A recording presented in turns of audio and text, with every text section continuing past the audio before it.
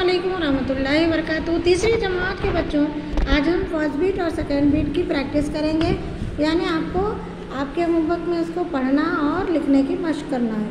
इन अल्फाज के माने लिखिए, खालिक पैदा करने वाला, नेक सीधा, करम मेहरबानी, राह रास्ता, रब पालने वाला, शौक़ चाहत। इन सवालों के जवाब लिखिए। सवाल नंबर एक है, हम सबका मालिक कौन है? जवाब है, हम सबका मालिक अल्लाह है। सवाल नंबर दो है, दौलत किसे कहा गया है? जवाब है, दौलत इल्म को कहा गया है। दौलत इल्म को कहा गया है।